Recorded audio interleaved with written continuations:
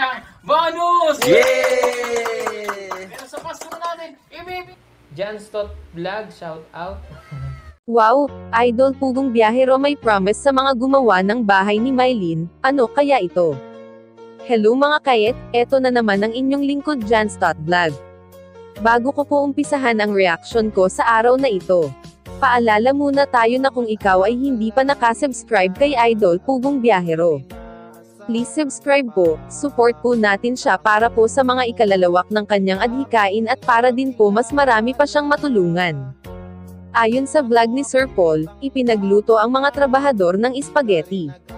Pinakain niya ito pati ang mga pamilya ni Mylene at nag-promise sa mga gumawa ng bahay ni Mylene na dahil maganda daw ang pagkagawo. May bonus daw ang mga ito kaya sobrang saya ng mga trabahador.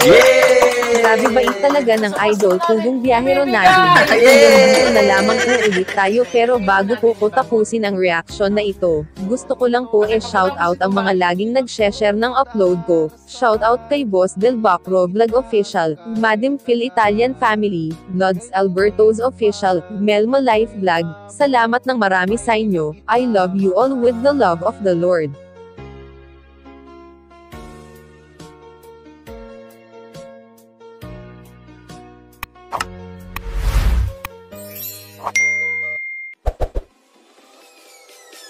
Jan